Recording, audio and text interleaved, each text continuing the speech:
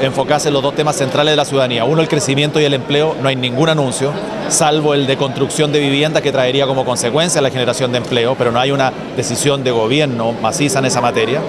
Y tampoco en materia de delincuencia. Absolutamente nada.